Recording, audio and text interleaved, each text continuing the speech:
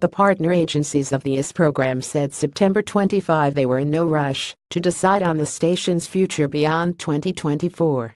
Credit NASA Adelaide, Australia. The partner space agencies of the International Space Station said September 25 they have had discussions about the future of the station beyond 2024, but indicated no urgency in making a decision. At a press conference during the 68th International Astronautical Congress here, NASA acting administrator Robert Lightfoot said he has talked with the other partners about both an extension of the ISS as well as cooperation on the agency's proposed Deep Space Gateway, although no decisions on either were imminent. We've got a list of criteria that we're putting together to say what would we do post 2024, he said, referring to past studies that conclude it's technically feasible to operate the ISS beyond that date.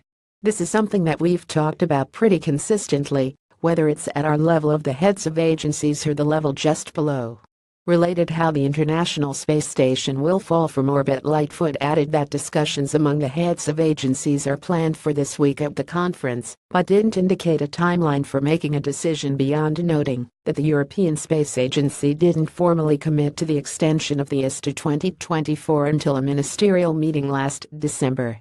Igor Komarov, head of the Russian state space corporation Roscosmos, suggested that there would be the need for a research facility in low Earth orbit beyond 2024. We need something in low Earth orbit, he said. It's better to make research in LEO, if it's possible to make them there. Future research, though, could be done with a different approach that the current management of the ISS. In the future, should it be a different structure, maybe less investment consuming, more efficient, he said. The next generation shouldn't be a copy of the existing one. Komarov, however, backed away from reports that Russia was considering separating its modules from the ISS to form a Russian space station after 2024, acknowledging that the technical feasibility of that has been studied. We have no plans to separate the Russian segment from the ISS, he said. We keep the same position that we should work on the ISS together with our partners, Naoki Okumura, president of the Japanese space agency JAXA, said consideration of the long-term future of the ISS was premature at this time.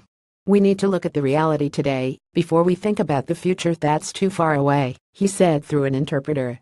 By 2024, we need to make sure to generate as many results as possible from ISS-related missions. The International Space Station is the largest structure in space ever built by humans. Let's see how much you know about the basics of this science laboratory in the sky. 0 of 10 questions complete cosmic quiz Do you know the International Space Station 0 of questions complete however, he said JAXA was in discussions with NASA about a potential role on the Deep Space Gateway facility in cislunar space. JAXA is now making a serious deliberation as to what JAXA can do if we join the Deep Space Gateway and how we can support that, he said. We are in the middle of those discussions. Lightfoot cautioned that the Deep Space Gateway remained just a concept at this time, without the former endorsement of the project by the administration or Congress. We shared that with our international partners, he said, starting with discussions in April at the Space Symposium in Colorado Springs. At a panel discussion later in the day at the conference, executives with Boeing and RSC Energia endorsed continued work on the ISS as well as development of the Deep Space Gateway concept. I think that it's really important that, when you look at the transition of the International Space Station, we look at some lessons learned from Shuttle and don't repeat those, said John Elbon, Vice President and General Manager of Space Exploration at Boeing. That means, he said, we don't set an arbitrary date to retire the station before there's another low Earth orbit destination that can fill the requirements of the space station.